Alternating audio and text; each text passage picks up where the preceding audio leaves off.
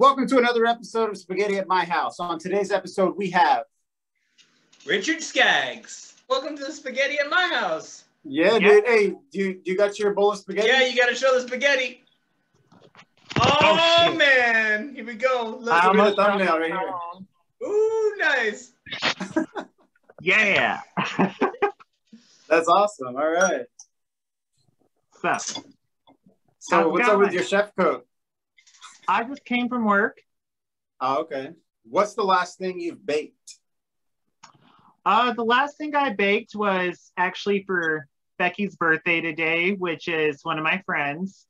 I made her a coconut sablé tart and I did a coconut sablé pastry crust and then I filled it with a coconut pastry cream and topped it with an emulsified butter lemon curd and toasted Swiss meringue. And I'm an avid gardener too, so I went out and got all of my beautiful like edible flowers and garnished it with those as well. So Wow, so you have Wait. you have all this like in your garden already, like the edible flowers? Yeah, I, I have a 45 foot garden by 27 feet, and there's a greenhouse on it. So I grow a lot of my own stuff for my baking and my cooking. Ooh, that's Look something we you. couldn't research. Yeah. dude, that's awesome. Hmm What kind of you said it's coconut and there was some a word I heard that I never know. I- Emulsifier? no, Yeah. I know what an emulsifier is, but no, what you said the flavor? Oh, a sablé. Yeah, what it what is that? So sablé is French for the word. It means sandy. So whenever you eat the crust um, on this tart, it should pretty much dissolve, and you should just be left with like a buttery, sandy texture, Yeah, and I'm trying as to have the to something kind of crisp and crunchy. Whoo! We Man, should get him to sounds have dessert for us after we eat this spaghetti. Ooh, that's a good idea. right? so, but Man. no, so the last time I baked was today. You baking all this awesome stuff, like, did you happen to go to like a pastry school or like a cooking school, or is this just all on your own that you know how to do all this? So I went to college for medical technology with a minor in forensic science, and I did all of that. wow. So I got about. I, I have a semester in that degree left to finish, but I'm not going to finish it. So I wasted all of my money on that that was given to me for college, and I didn't want to go into debt. So I, I had two plans when I was younger. Either I was going to be a scientist and work on crime scenes, or I was going to be a chef, and I should have went with the second option because I have I've been cooking forever. So Right. I taught myself. I guess is a long explanation to your question Yeah, yeah. um i started with cupcakes and then you know we all have to find out what we are and where we've been and like you know what our ethnicity is. And i found out that part of my family is actually from bordeaux france. And i was like okay i have a connection to the french cooking thing. And that's kind of what started the french side of my baking. And when i first started out it was cupcakes because cupcake wars was like the thing you know? Okay. it was in its you know prime. You can figure out the uh, icing splatter analysis because of your uh, medical background, right? yes. This right here tells me that this cake was slashed just right this way. And over here over here that's where she did it. Miss crumpet was always jealous. But you know it worked. That- it's re- it really wasn't that crazy of a jump from medical to pastry just because like it's kind of crazy but i view pastry chefs as being like slaves to recipes because everything has to be exactly measured. Everything has to be on point all the time for a recipe to come out perfectly and consistently. That's why you know everything's done by weight. But if you're a chef and you forget salt in the soup you can just add salt. I can't um, unbake a cake you know?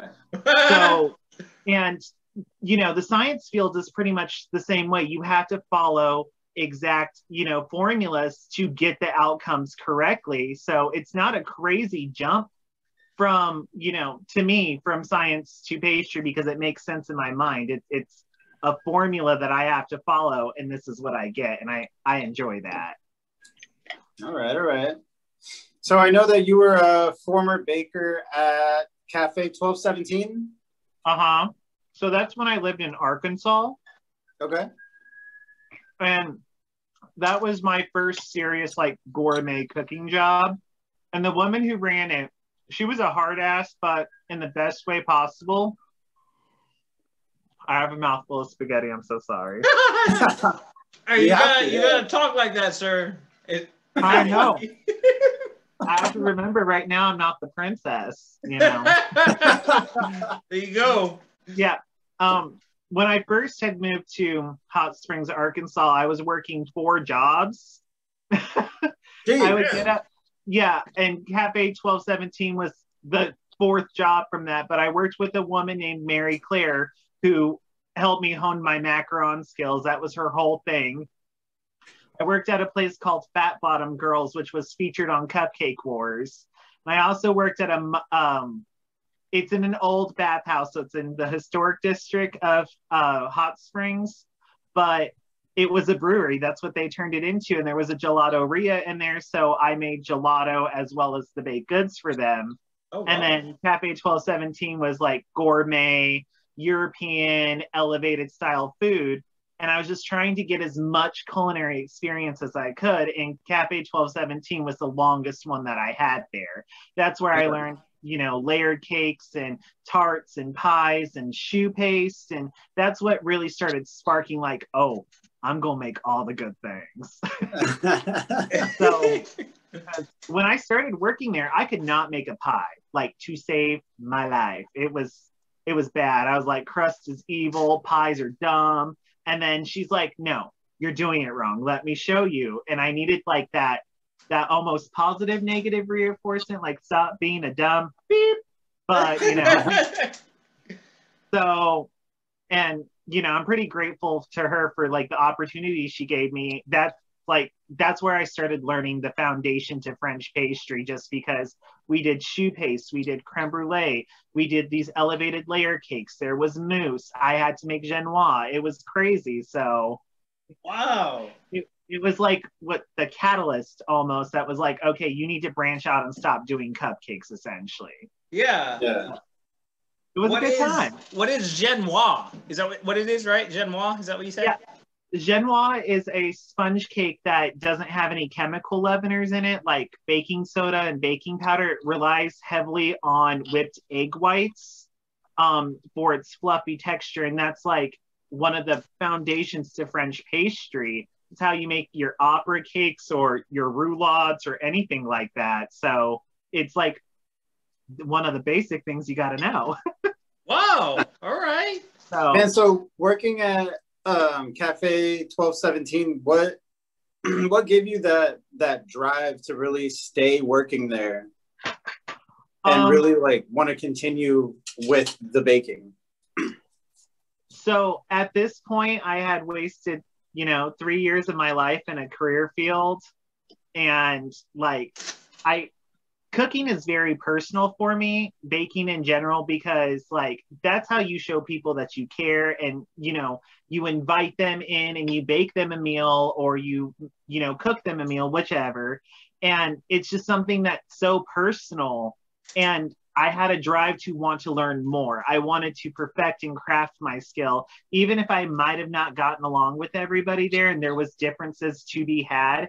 I needed to get better, and that was the best environment and the place I was at to get to that point. So I was like, you gotta, you gotta do the grind, go cry in the walk-in, and then we're gonna make some creme brulee.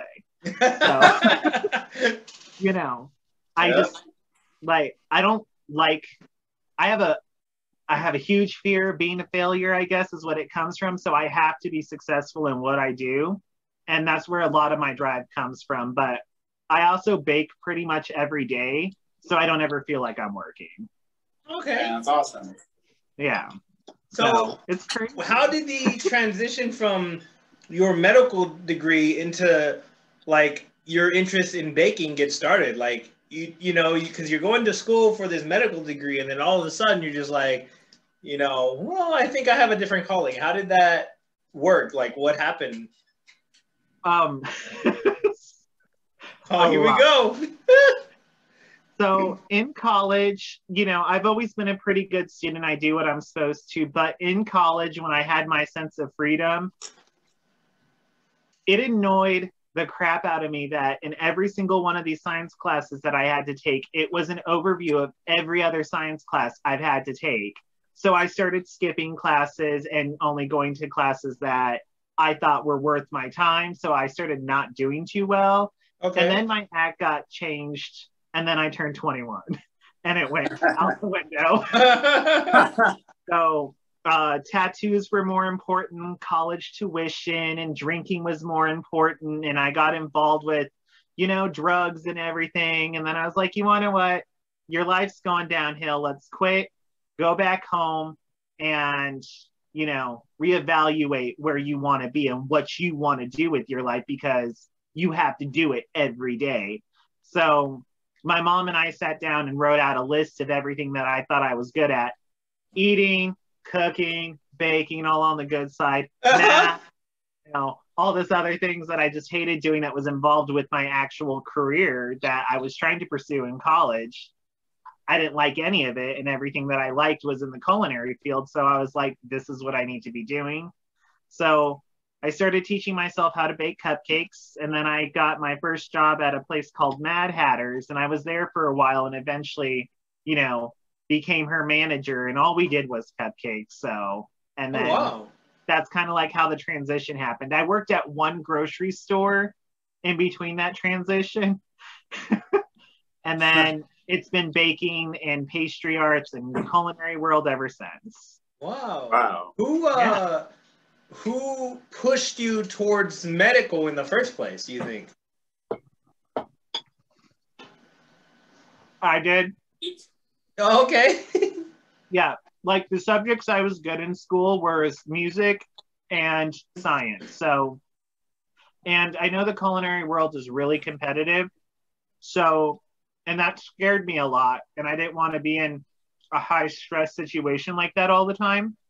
Yeah. So I was like, do the science thing. People will leave you alone in a lab with a microscope. And I'm like, that sounds great. right. It was not. For anybody that doesn't know that you were on a Netflix episode, hmm let's talk about it. tell me tell me about the um about the Netflix show experience, man. Like what was it like? Well, it was really fun. The people that make those shows happen go through a lot, a lot of work to make them happen. Um, the interviewing process was a little bit crazy for me because they contacted me and my friend Chris and I were like, let's do this thing because he and I had just competed in um, a chocolate and sugar sculpture competition um, in Houston and we got third place and we're like, we work really well together and we've been working together since I worked at Cafe Dijon like four, five, yeah, four years ago. um, so we were like, let's do this because he and I both had auditioned before for the Food Network to try and get on one of the baking championships. So we were like, let's see what happens if we audition together. And we ended up getting on the show.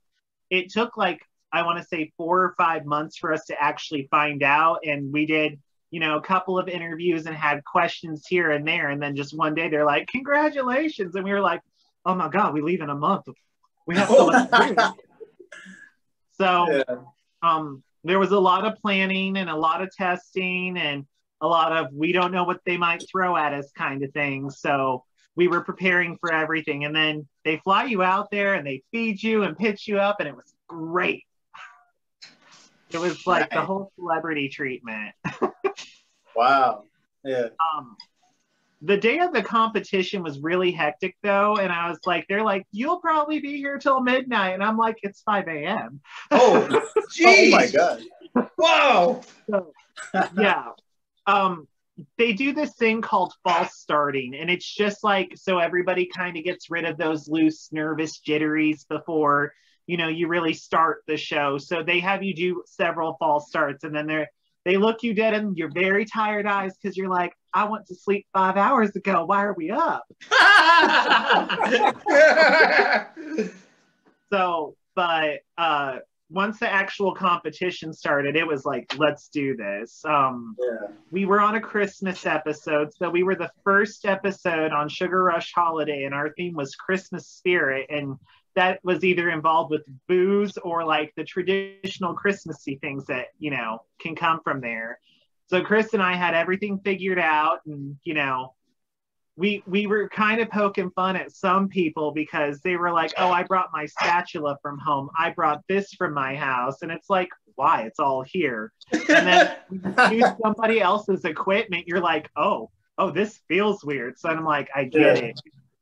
It's like, you know, when you drive somebody else's car, it feels weird because it's not yours. It, Right. That's like the best way I can describe that. Right. So, but we made it all the way to the last round. We got second. We didn't win, but that's okay. Uh, we made a lot of great friends, and like everyone we competed with was so cool. Like outside of the show, we hung up, like hung up. we hung out. We went out. We got drinks. We celebrated after our taping. It was a great time, and all of them are just. They're all amazing ladies, and you know they're all doing their things, and they're all successful, and like I'm I still root to for them to this day because I'm like, look at y'all, like praise. Do you ever do you ever keep in contact with anybody from the show still? Um, the person I keep in contact most with was um, the girl who was on the winning team. Her name is Caitlin, and she had the brown hair. Right. Um, she works for Duff Goldman now at Charm City Cakes in Boston. So you know she went right up and over that. yeah. Yeah. she messages us, us all the time and she was just on another show too. So she she's the one we hear from most frequently. But like you know we like all of each other's pictures on instagram on facebook and all of that. Um, they're all so talented. Taylor started her own business and you know we're all like we're the sugar rush squad now so Oh. So I, I did see the the episode and it was it was really cool and interesting and um I I don't know I'm not too not too bad about the other contestants because you said they were really nice and good and everything but I was just like that last episode I was uh because I felt like you y'all had a sweater and they didn't. Yeah. I was just like, but that that's a sweater. There there's isn't a sweater. You know, did you did you feel that way? Like when the uh, judges were like, okay, you know what I mean, when they were judging? um no Okay. I thought there, yeah. Um, I have a pretty strong opinion on this particular subject because I've heard this quite a bit. oh, here we go. Okay. The amount of work those two girls put into their cake in the amount of time that we had was none less than like a stellar feat. Chris and I, um, we I feel like our flavor was better. I will say that we came up with the whole San Antonio hot chocolate thing and the plaid thing, which was Mhm. really cool. But we had structural issues and baking issues, so we literally decorated our cake with 15 minutes left to spare, and that was just pretty much rolling fondant out as quickly as we could to throw it on a cake. Cookie cutters and just started slapping things on.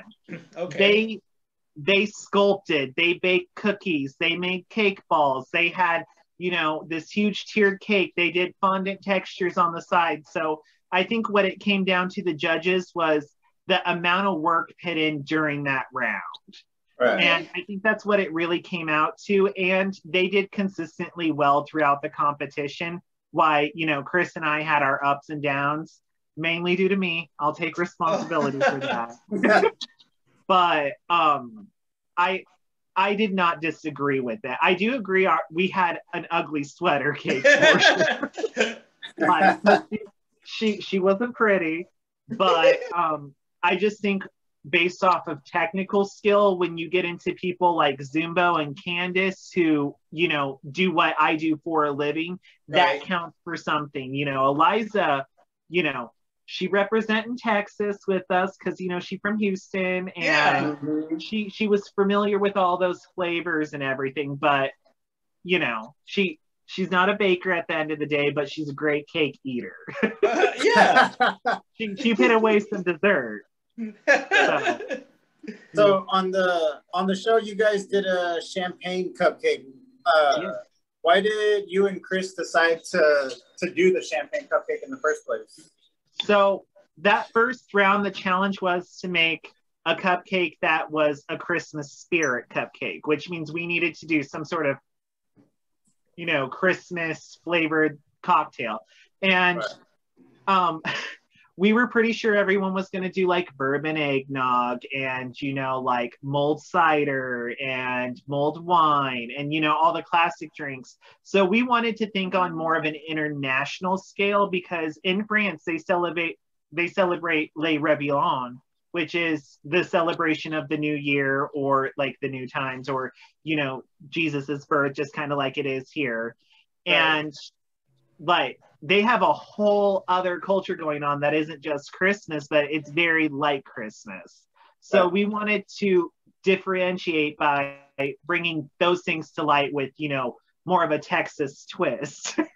so, which is why we got dinged for a jello shot in the middle of our cupcake. Because, yeah. um, but you know, that goes back to my French heritage. I was like, oh, France Kir Royale, let's do it. That's black currant and champagne. That's not familiar. It's something new. It won't be heavy. It won't be laden with cinnamon. And, you know, we had talked about balancing out the actual filling with some sort of like jam or puree, and we really should have went with our well, I Chris suggested it, and I was like, no, we'll be fine. And I was I should have listened because I was like, they need to taste the burn of the alcohol, and that's what that's what we had in our cupcake, and it was was too much. it's a little bit, just a little bit too much alcohol. Maybe. Yeah. Um, we used a whole bottle of champagne and half a bottle of creme de cassis, which is a black currant liqueur from France, and yeah, for you know 12 cupcakes, that's a lot of liquor. I feel like that's dangerous. Like the the black currant um, liqueur. I, I feel like that's dangerous. you get the burn from the alcohol. You want to stay away from elderflower liqueur. That it's just sweet and it's good, and then and then you're passed out. you're slur. You're no, you're talking in cursive. That's what it is. I never You're slur. talking in Christmas. oh, that's great. Yeah. Oh man. so after after the loss, I'm assuming so, and hopefully, but they still pay for your trip back. Yes. Yeah. Okay. Yeah. I would hope so. right? Yeah. They they pretty much pay for everything. Like you're there to essentially be like the stars, the entertainers of the show. So you get that celebrity treatment. Every room that we were ever brought into was full of snacks. If you wanted it, it was there. You want a Skittles, they have Skittles. You want a Snicker, they got a Snicker. You want Cheetos, they have four kinds. Which one you want? Yeah, that's Wow. awesome. There's snacks, all snacks, all snacks, and then they're like, "You all hungry? We have food upstairs. Come on!" And it's like, we get to eat again. Jeez, that sounds so awesome. yeah. So, and you know, they they drive you pretty much everywhere too. Like they drove us to the airport. They picked us up from the airport. They took us to our hotel. They took us to the studio. Pretty much anything that wasn't on our time, they drove us to. Yeah. Wow. Wow. Like That's pretty awesome. it was nice.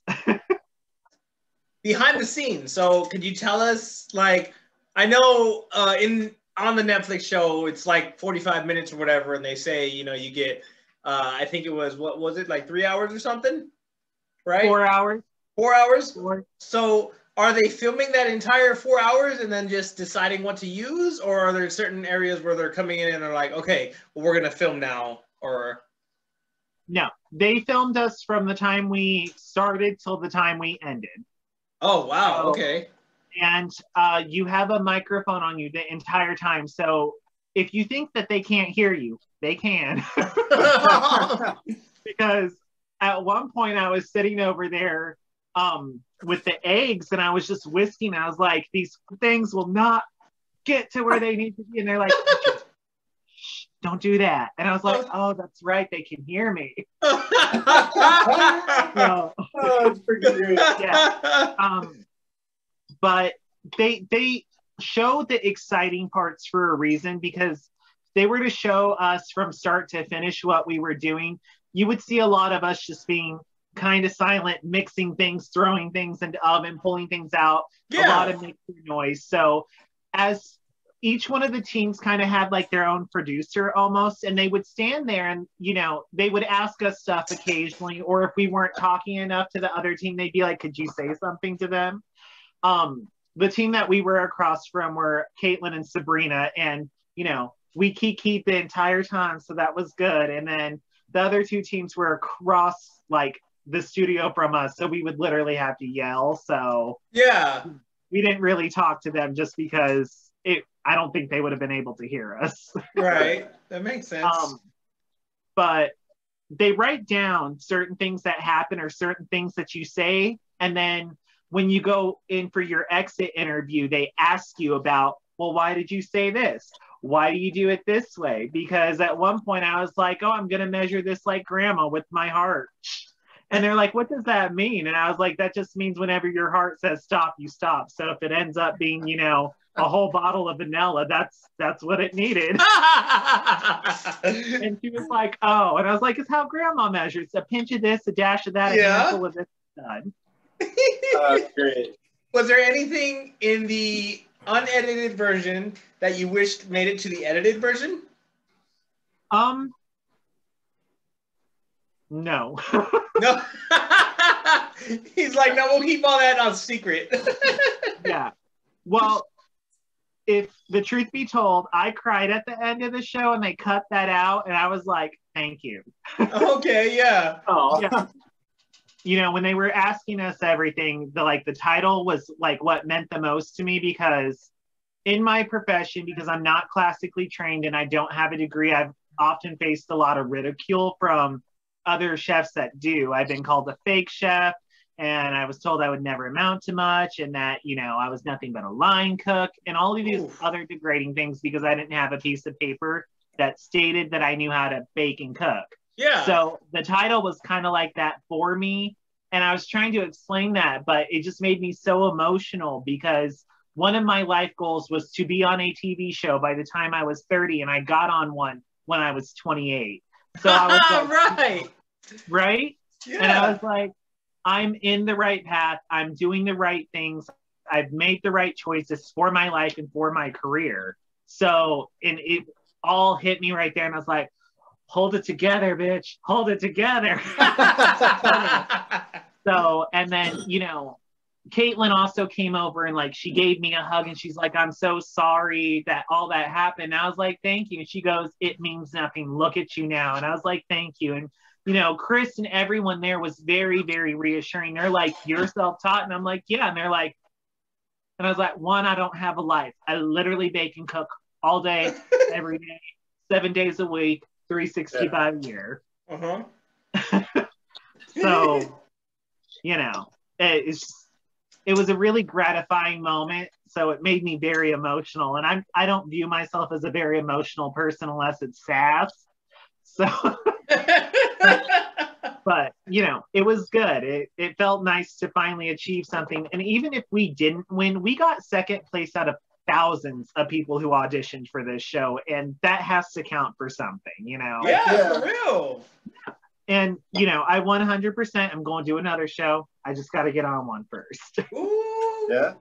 Any chefs or pastry chefs out there that want Richard Skaggs on their show, let them know. so, uh, what would you have done differently on the show, or would you have done anything differently at all? Um, I would have done a few things differently. One, um, I would have brought my own equipment because that really did make a difference. Um, they actually bought those little domes for us that we did our second round dessert in. And I was so confident they would work because I have the same ones at my house and Yeah. they work. So I was like, of course they'll work. And then they didn't work. They ended up suction, cup like it suction cupped into the actual sphere. So we couldn't pull them, Oh, them breaking because the whole point of tempering chocolate like that is to get it as thin as possible so it cracks really satisfyingly and Yeah. you don't have to essentially take like a sledgehammer to get to the dessert.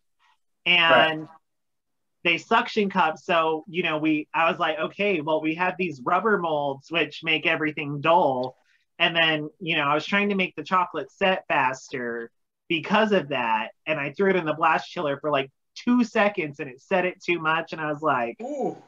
and i would have added black currant jelly or puree or something into you know the feeling like everyone was like you should do that and i was like no they have to taste the alcohol um, one thing I really wish they would have shown on the show, like if I could change that, was in the third round, the suction cup chocolate spheres started popping out in the third round. Like they just started coming out like it was nothing. And I was like, what treachery is this? So- and I literally said that. And I was like, I hope they show that. So everyone knows I can temper chocolate being shady. And she was like, No, I like living in this dome. I ain't coming out. And then, you know, third round, she's like, Hey. It's like the show is- the creations you're most proud of, like top two. What do you What do you got?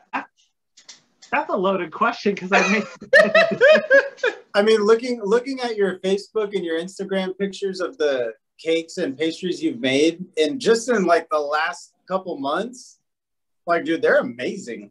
thank you. Yeah, Like for really real, awesome. they really are. I wish I could hire you every day to just make my desserts. Um I get I'll go with what I consider two Richard Skaggs originals. I haven't seen these anywhere else, and I guess that's that's what I'll have to use for uh, my answer. I've been working on a tart for a while now, and it's the Apple Queen tart, and it's the tart that has all the beautiful apples that are arranged in roses on top of it. Yeah. and like i just i love the idea of this tart so much and i'm trying to perfect it so it has like a full body like reaction to it because that's what i want with this tart. I want it to hit you aromatically texturally like i want the flavors to explode in your mouth. Essentially a food gasm is what i want That's Okay. so, and this tart is a kind of a combination of my love of pastry with my love of gardening, with my love of science, because apples and roses are actually in the same family. Like they're in that, they're in a family together. So they go together in my mind. Right. And, you know, in France, especially in Normandy, apples are a huge thing. And I was like, let's highlight this. So, like, the crust is a brown sugar sablé. And then in that, there's a crème d'amande layer, which is kind of like a lighter frangipane. It's almost cakey. And I soak that with Calvados and simple syrup. And Calvados is a special apple brandy liqueur from France. And then on top of that, I do a very light rose Tahitian uh, pastry cream just so the essence of the rose kind of brings out the apples just a little bit more without it over, you know, powering or coating your palate so it feels like, you know, you're eating grandma's perfume. yeah, yeah. And then I use five different apple varietals because I apples should be celebrated in the diversity, especially when it comes to color, texture, and flavor. And I wanted to highlight that as well. Um, and this actually happened when I was in the apple section in the grocery store. Is I noticed all these beautiful colors, and I'm like, how come we never highlight the skin of the apple? And that's kind of where this tart started at. Oh, So, oh, neat. um, Alright. and the apples are poached and the red mixture on the apples actually dyes the apples red because there's dried beetroot and there's freeze dried cherries and like 14 other things that I won't bore you guys with. But I almost two apples in there and I slice them so thin that you can almost see through them. And then I just throw them in the hot liquid and let them sit overnight. That way the apple doesn't overcook or discolor too much. And I can still highlight that beautiful part of the rind, uh, well, not the rind, the skin. And then with my lighter apples like the Golden Opal and the Granny Smith and Honey Crisp, I poach in this super, super strong concentration of ginger and cardamom and elderflower liqueur and Tahitian vanilla bean. And Ooh. you know, it the contrast just highlights apples different, and then glazing it gives it that like final look. And cause she's a queen, Uh huh. she gets gold leaf.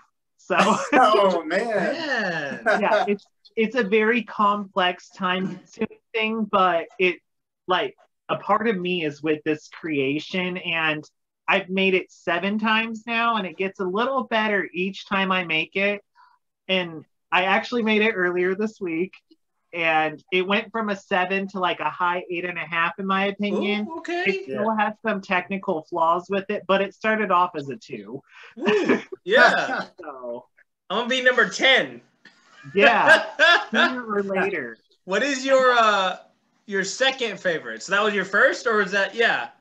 that's my first favorite and my second favorite i'm fairly sure you guys have tried um, do you remember the white chocolate sage mesquite honey macarons that i made Yeah. Yes. that is another combination that i have not seen anywhere else so i'm going to take ownership of that All right. But, you know sage is a great plant. It's my favorite herb and i don't feel like people utilize it enough. And it can go between savory and sweet. You just have to know how to work with it and how to balance it. And honey and mesquite help balance out that earthy astringency that comes with it while Yeah. you're just left with that ooh what is that? So adding in the white chocolate brings in the sweetness so you don't feel like it's savory. And you know it's just i was like i love the idea. I tested it out a couple of times to find out what would balance it beautifully and it turned out to be mesquite powder and honey. And i was like that's crazy. How how long did it take you to get the uh the mesquite and honey? Like, how did you figure that was the direction that would help the sage um, undertones like not come out as much? so the mesquite was by accident if we're being honest Okay. And um, the honey was more of a hunch because honey is an invert sugar, but it has like that floral taste to it. And I know honeybees can just pollinate lavender fields or they can just uh, pollinate rosemary fields, and the honey takes on that quality. So I was hoping by using Texas sage and, well, say, sage that was grown in Texas and then local Texas honey that it would help balance it out white so I wouldn't have to use so much white chocolate to get sweetness. I could cut back out on it. And then Right. my boyfriend was messing with mesquite powder to do God knows what. oh It fell into the ganache. wow! What? what? Oh, no. Yeah. And it got mixed in, and I was tasting it, and I was like, oh, this is good. He's like, shut up, whatever. So it was a happy accident. And I was like, you did good this time. I'm not angry. This is great. That's awesome. So, you know, it was a nice little collaboration by accident. I feel like um, a lot of people know you for your baking, for all of like everything you do in that world. But how about like uh, like uh, cooking? Like, what i- what is your favorite thing to cook? Not bake. I Hold know. on. Before you say anything, let me get my dictionary so I can understand what you're about to say.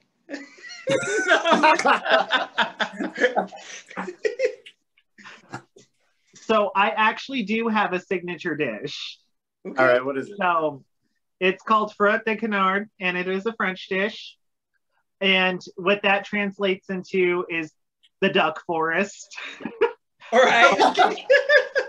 The duck. Duck is my favorite, like, protein of all time. It's rich, it's meaty, it's everything that I want.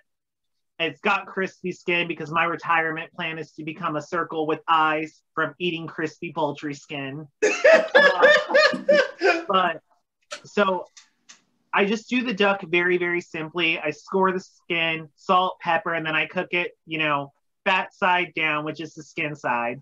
Um, because duck has a lot of fat in it, but it's all in the skin. And then the protein uh, part of it, the actual meat part of it, you don't want to be like cooked all the way through like with chicken. You kind of want it to have a rosy pinkness to it because that's that's what makes it tender. If you start venturing into like the 165 Fahrenheit range, duck gets very dry and very chewy, and it you you kind of disrespect it in a way.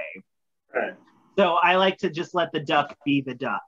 And then on that plate, um, I make um, a Poivrade sauce, which is a pepper sauce, and it takes about eight hours to make. There's a lot of reduction time. It has a Oh, full geez. bottle of red wine in it.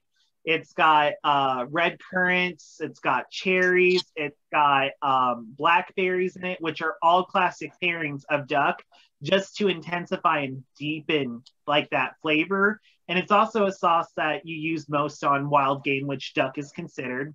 And then Right. I do fondant potatoes, which are Oh yeah, Have you had them before? yeah, I love those. So I do three fondant potatoes with grilled broccolini, and then that's just that's all it needs. It's a Oh great. my god. Oh, I'm sorry. There's a three root puree on it too, and it's um, rutabaga, celery root, and parsnip. Right. I just do a nice puree of that with the duck and then the potatoes and the broccoli, and it's the sauce. It, it's a beautiful bite together. That Yeah, sounds sounds great. amazing. Sounds so good. I just I ate, know how to man. What you doing? Yeah. My boyfriend eats real good. I Got a bet. ring on it. do y'all uh do y'all share in the cooking? Like i- is one of you the better cook or oh he doesn't yeah, Oh, me. like don't don't get me wrong he can cook but he he tries to kind of veer into my lane of like fine dining you know complicated things and i'm like you need to stop you have no idea what you're doing like i I will feel help like- you. I feel you like you're only saying this because he's not there with you right now. no i've said all this to his face Oh, okay. oh man. Oh, you know i don't sugarcoat things because that's what i do in my profession i gotta oh, be Oh straight. yeah. you know so but he has made some of the best food i've eaten but he's also responsible for the worst food i've ever eaten. Oh man. um he he's really good at frying and grilling and roasting things. So and deer steak chicken pork you know your run-of-the-mill things he's really good with. And he grew up in the country so he knows how to cook some weirder things. He's like oh, you should try swirling dumplings and i'm like i ain't eating no tree rat sorry um, we try not to cook together because I can literally hear him cutting wrong from the other room and it annoys the crap out of him. oh jeez. I'm like, you shouldn't do that. That. Oh, excuse me. You shouldn't do it that way. so and he's like, Richard, and I'm like, sorry, you're nice as gold. Don't want you to cut your finger. so are you trying to own your own bakery? And on top of that, if you owned your own bakery, what would it be called? So I actually have a plan to open up three businesses here. All right. So, Wow. um, I want to open up a bakery cafe called Bake My Day because Nice. There you go. It's Yeah. cute, it's funny, it's me. Um, and that has been in the works since about my first year in the pastry world. I was like, I need to open up my own bakery. I have so many ideas that I want to share with people. So um that's been like the longest running one so far and then i want to open up a um a chef's store that is about custom seasoning blends and fresh herbs and how to use spices and the science behind why things work together that they do. But i want to call it the chef's apothecary and sell everything in glass bottles with corks because there's something so charming about that and there's nowhere that does that. And then I want to open up a fine dining restaurant that is all about fine dining French food, and I'm going to call it saute. So, like, the best words of wisdom that I could give you from my personal experiences, both in the culinary world and in my personal life, is one, if it makes you feel like you might fail, you should go ahead and do it because the worst that could happen is you could fail the experiences and the knowledge that you gain from every failure could be your greatest weapon because from that comes understanding and learning. And, you know, the light bulb wasn't made in a day. There's 99 ways how not to do that. So take that chance, go for that opportunity and really see where it takes you because if it scares you, it could be the best thing for you. And I've struggled with that a lot. But once I started taking those chances that really scared me is when everything started coming together for me, you know, pretty much in my entire life, both personal and professional. Where uh, where can people find you? Can they can they contact you? Also, if people do contact you for like a cake or something, are you local only or what's what's your range? um I mainly work off of my Instagram and my Facebook whenever people need desserts. I do hold down a full-time job, but I put a lot of effort into the creations that I make for people's special events because you know, I want that personal you know, feel with everything that I do. Yeah. So I take orders through my Instagram page as well as Facebook and, you know, as well as I hand out business cards as well. So oh, anytime okay. you really need a dessert, just, you know, shoot me a message and, you know, I'll drive up to an hour away to deliver something to you. That's legit. Um, yeah. If you're looking for me on Facebook, you can just type in my name, which is Richard Skaggs, S K G G S and you can find me there or my Instagram handle is RC Skaggs um, 3300 and I'm on there pretty much all the time. So just if you need anything, shoot me a message. Thanks for checking out the fifth episode of Spaghetti at My House. Don't forget to check out the links in the description.